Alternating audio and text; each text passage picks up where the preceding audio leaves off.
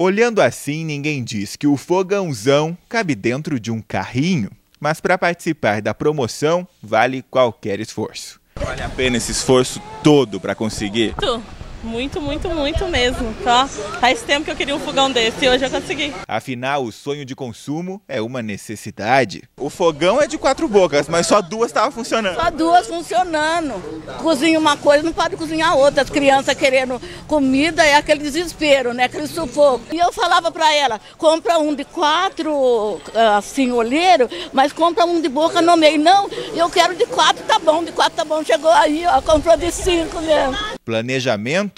A Vilma nem quer saber o que é isso. Afinal, os utensílios da cozinha, a partir de hoje, são novinhos. Comprei boneca, panela de pressão, fruteira, Se plan... cristal, coisa mais linda para tomar chopp.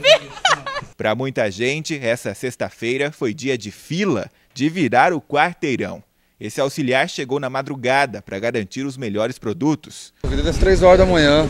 Conseguiu comprar algumas coisas, né? O que, que você acabou levando? Pelo menos, o celular valeu a pena, tava, tava barato. Mas nem todo mundo sai satisfeito. Às vezes o desejo fica só no anúncio mesmo. O que eu queria eu não consegui. Uma cama box, uh, micro-ondas, mas a hora que você vai para comprar já, já acabou. A mega promoção é de uma rede de varejo que promete preços fantásticos, mas não garante o frete. Por isso que nas ruas o que se viu foi um festival de carregadores, geladeiras, armários e sacolas, como num formigueiro.